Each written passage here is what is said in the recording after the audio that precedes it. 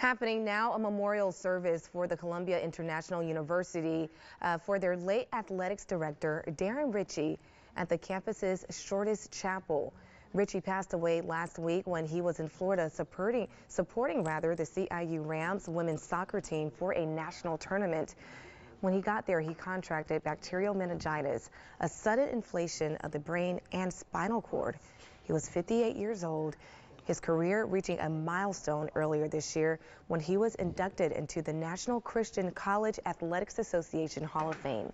In his 16 years as director of athletics at various institutions, Ritchie was noted for encouraging spiritual growth amongst his athletes, better moral conduct, and buy-in to each school's Christian mission. Our thoughts and prayers go out to his family.